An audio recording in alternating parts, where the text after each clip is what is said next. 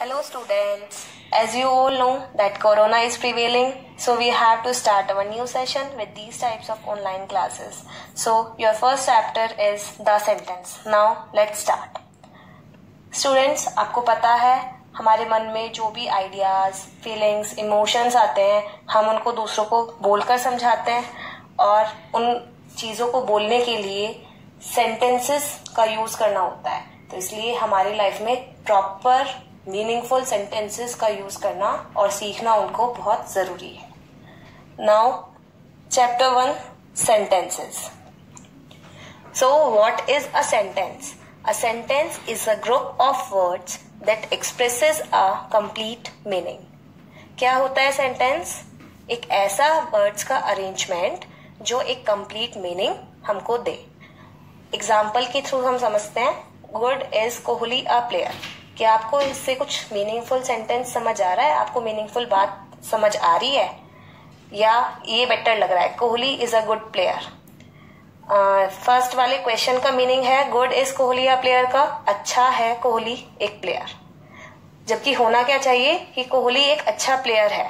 तो इसका आंसर क्या सेंटेंस प्रॉपर क्या होना चाहिए arrangement Kohli is a good player Kohli के अच्छा प्लेयर है। Let's have another example market to goes she daily बाज़ार जाती है वो रोज। जबकि होना क्या चाहिए? वो रोज बाज़ार जाती है। Means she goes to market daily now आपको समझ आ गया सेंटेंसेस क्या होते हैं? Now come to kind sentences what we will study now kind of sentences so there are four kind of sentences in your chapter first is assertive which is also called declarative sentence second is interrogative sentence third is imperative sentence and fourth one is exclamatory sentence now let it let's discuss what is assertive sentence or declarative sentence. So here there are two kinds of assertive sentences. First is affirmative and another one is declarative. Sorry first one is affirmative and second one is negative sentences negative sentences क्या होते हैं? जिसमें no not nothing never means जिसमें ना वाली चीज़ें आ रही हो। जिसमें आपको नेगेटिविटी शो हो रही हो। और अफर्मेटिव सेंटेंसेस कौन से होते हैं? जिसमें आपको पॉजिटिविटी शो हो रही हो। Let's have a example Ram is a good student ये आपको क्या लग रहा है? कि राम एक अच्छा स्टूडेंट है इसमें आपको पॉजिटिविटी शो, शो हो रही है इसमें कोई चीज़ इम्पोज नहीं की जा रही है ये एक सिंपल सेंटेंस है Ram is a good student now इसका नेगेटिव क्या बनेगा? Ram is not a good student इसमें नॉट आ गया तो ये कौन सा सेंटेंस हो गया? ये असर्टिव सेंटेंस का टाइप है नेगेटिव वाला. So it is a negative sentence now second one is interrogative sentences क्या कंडीशंस होनी चाहिए जिससे आपको पता लग जाए ये इंटेरोगेटिव सेंटेंस है? पहली चीज़, इसमें क्वेश्चन मार्क होना बहुत ज़रूरी है। The sentences must have question mark and the second one the sentences ask question in sentences में आपसे कुछ पूछा जाता है। Like are you playing in the match क्या आप मैच में खेल रहे हो? Second where are you from आप कहाँ से हो? तो आप ये क्वेश्चनिंग की तरह ही पूछोगे like where are you from और are you playing in the match तो इसमें क्वेश्चनिंग की जा रही है ना कि आप कहाँ से हो? और ये क्वेश्चन की तरह ही पूछा जा रहा है। तो आप इसमें क्या मार्क करोगे? That this is a sentence now comes to third one imperative sentences. These sentences express orders, request, advice, threat, etc.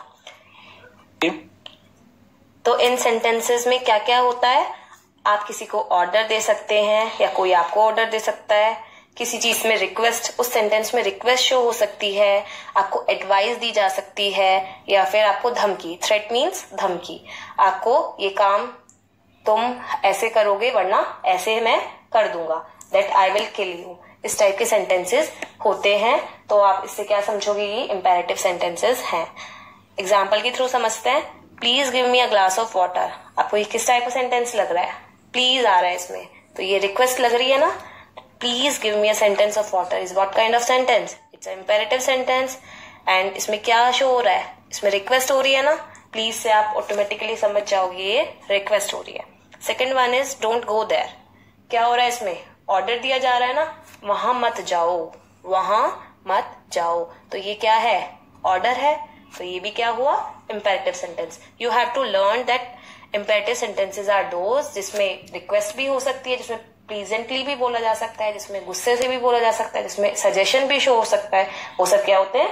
Imperative sentences now come on now come on fourth this is a exclamatory sentence the sentences expresses strong और sudden feeling इसमें हम अपनी strong और अपनी feelings show करते हैं जो हमारे मन में एकदम से आती हैं।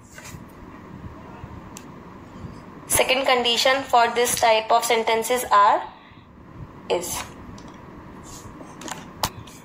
the sentences mainly contain hurray alas wow what how etcetera like like, इसमें हम एकदम से अपनी फीलिंग शो कर रहे हैं ना तो उसमें ऐसी तो निकलता है मुँह से। हुर्रे वॉट ऐसा हो गया? या वाओ ये सब चीज़ें आ रही हैं तो क्या है ये? Exclamatory sentence and the last but not least इसमें एक्सक्लेमेटरी साइन होना बहुत ज़रूरी है। उससे आप समझोगे कि ये एक्सक्लेमेटरी सेंटेंस है। बहुत सारे क्वेश्चन स्टेटमेंट्स में आता भी नहीं है एक्सक्लेमेशन लेकिन वो उसमें होता है जो उसमें क्लियरली शो हो ही रहा हो लेकिन एक परफेक्ट एक्सक्लेमेटरी सेंटेंस वही होता है जिसमें एक्सक्लेमेशन मार्क ही हो। अगर मैं एग्ज़ाम में या फिर आपको किसी क्वेश्चन में ऐसा दिखता है कि एक्सक्लेमेटरी मार्क नहीं है, उसके बाद भी वो एक्सक्लेमेटरी सेंटेंस है तो आप उस चीज़ को जज करोगे by reading a sentence twice okay now इसके एग्जाम्पल्स क्या है? हाउ बिग इट इज़ ये कितना बड़ा है? या what a beautiful scenery it is ये कितनी सुंदर सीनरी है। इसमें हम अपनी फीलिंग्स को एक सडन एक्सप्रेस एक्सप्रेशन दे रहे हैं। ओवरव्यू इनको फटाफट से रिवाइज करने के लिए एक बार ओवरव्यू सुन लो। एसर्टिव सेंटेंसेस कौन से होते हैं? एसर्टिव को हम डिक्लेरेटिव भी बोलते हैं और ये टू काइंड्स के होते हैं अफर्मेटिव एंड निगेटिव तो इनमें पॉजिटिव और निगेटिविटी होनी ज़रूरी है, या तो पॉजिटिविटी हो या फिर negativity second one is interrogative it must have question mark interrogative में क्या समझोगे आप? सबसे पहले कि आपसे कोई क्वेश्चन पूछेगा और उसमें एंड में क्वेश्चन मार्क भी होता है। थर्ड वन इज़ इम्पेरेटिव इसमें क्या क्या होगा? कोई ऑर्डर रिक्वेस्ट एडवाइस या फिर थ्रेट मिलेगा। फोर्थ वन इज़ एक्सक्लेमेटरी जिसमें एक एक्सक्लेमेटरी साइन होना ज़रूरी है। Okay okay.